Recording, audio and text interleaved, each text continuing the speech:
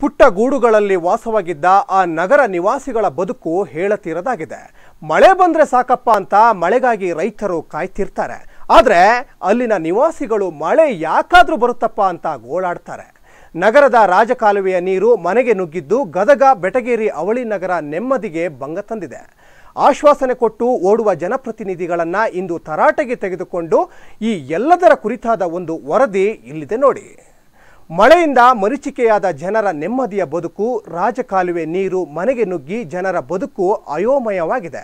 ಹಲವು ವರ್ಷದಿಂದ ಅಧಿಕಾರಿಗಳ ಗಮನಕ್ಕೆ ತಂದರೂ ನಿಲ್ಲದ ಗೋಳಾಟ, ಜನಪ್ರತಿನಿಧಿಗಳ ಹಾಗೂ ಅಧಿಕಾರಿಗಳ ವಿರುದ್ಧ ನೊಂದ ಜನರ ಹಿಡಿಶಾಪ. ಇದು ಗದಗ ನಗರದ ಬೆಟಗೇರಿ ವಾಂಬೆ ನಿವಾಸಿಗಳ ನೋವಿನ ಬವಣೆ. ಹೌದು, ನಿನ್ನೆ ರಾತ್ರಿ ಸುರಿದ ಭಾರೀ ಮಳೆ ಗದಗ್ನ ಬೆಟಗೇರಿಯ ಜನರ ನಿದ್ದೆಗೆಡಿಸಿದೆ. ಇಲ್ಲಿನ ವಾಂಬೆ ಬಡಾವಣೆ ಮನೆಗಳಿಗೆ ರಾಜಕಾಲುವೆ ನೀರು ನುಗ್ಗಿದ್ದು ಜನರು ಪರಿತಪಿಸುವಂತಾಗಿದೆ. ಭಾರೀ ಮಳೆಯಿಂದ ರಾಜಕಾಲುವೆ ಒಡೆದು ಅಪಾರ ನೀರು ಬಡಾವಣೆಗೆ ನುಗ್ಗಿದ್ದರಿಂದ ಜನರ ಜೀವನ ಸಂಪೂರ್ಣ ಅಸ್ತವ್ಯಸ್ತವಾಗಿದೆ. ನಡುರಾತ್ರಿ ಬಡಾವಣೆಗೆ ಶಾಸಕ ಎಚ್ ಕೆ ಪಾಟೀಲ್ ಭೇಟಿ ನೀಡಿದ್ರು.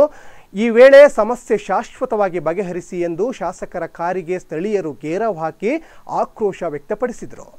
ಶೀಘ್ರದಲ್ಲೇ ಸಮಸ್ಯೆ ಬಗೆಹರಿಸುವುದಾಗಿ ಭರವಸೆ ನೀಡಿದರು. ಈ ರಾಜಕಾಲುವೆ ಗದಗ, ಬೆಟಗೇರಿ, ಅವಳಿ ನಗರದಲ್ಲಿ ಸುಮಾರು ಹತ್ತು ಕಿಲೋಮೀಟರ್ ದೂರದವರೆಗೆ ಹರಿದಿದೆ. ಕಾಲುವೆ ಹೂಳು ತುಂಬಿಕೊಂಡಿರುವುದರಿಂದ ಹಾಗೂ ಗಿಡಗಂಟೆಗಳು ಬೆಳೆದಿರುವುದು ಈ ಎಲ್ಲದಕ್ಕೆ ಕಾರಣವಾಗಿದೆ. ಮನೆಗೆ ನುಗ್ಗಿದ ನೀರು ಹೊರಹಾಕಲು ರಾತ್ರಿಯಿಡೀ ಹರಸಾಹಸ ಪಡಬೇಕಾಯಿತು.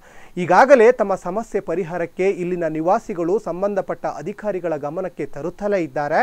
ಆದರೆ ಈ ತನಕ ಯಾರೊಬ್ಬರು ಸ್ಪಂದಿಸಿಲ್ಲ ಅನ್ನೋದು ಸ್ಥಳೀಯರ ಆಕ್ರೋಶವಾಗಿದೆ.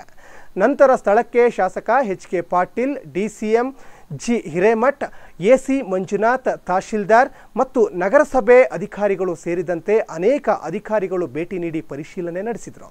ಇದು ಕೇವಲ ಒಂದು ದಿನ ಬಂದು ಕಣ್ಣೀರು ಒರೆಸುವ ತಂತ್ರ ಮಾಡಬಾರದು.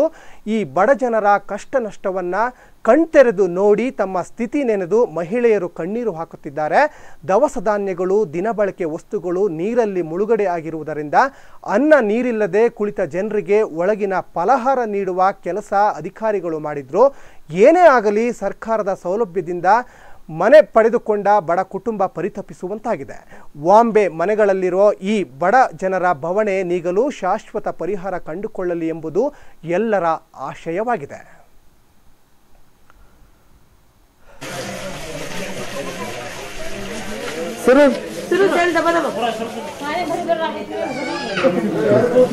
ಯಾರ ಮನೆ ಹಂಗಂತ ನೋಡು ಸ್ವಲ್ಪ ನಾನು ನಿಂತ್ ನಿಂತ್ ನಿಂತ್ ಮಾತಾಡ್ರಿ ಮಾತಾಡ್ತೀವಿ ಸ್ವಲ್ಪ.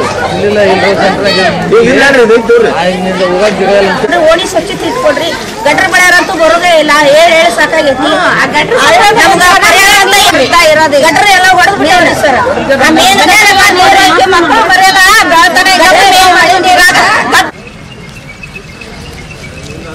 ಸರ್ ಇಲ್ಲೇ ನೋಡಿ ಸರ್ ಹೊಡೆದಿದ್ದೆ. ಕಾಲ ಗದಗಿಂದೆಲ್ಲ ಸರ್ ನಮಸ್ಕಾರ. ನಮಸ್ಕಾರ ಸರ್.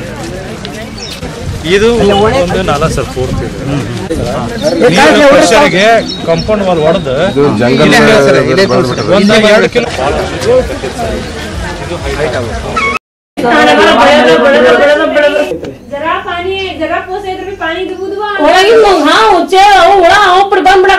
ಅವು ಹರ್ಕೊಂಡು ಹೋಗ್ಬಿಟ್ಟಾಸಿ ಏನ್ ಮಾಡ್ಬೇಕು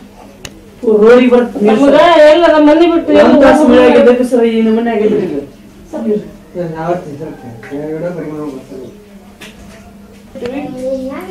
ಏನ್ ಸ್ವಚ್ಛ ಮಾಡ್ಬೇಕು ಏನ್ ಮಾಡಕ್ ಗೊತ್ತಾವ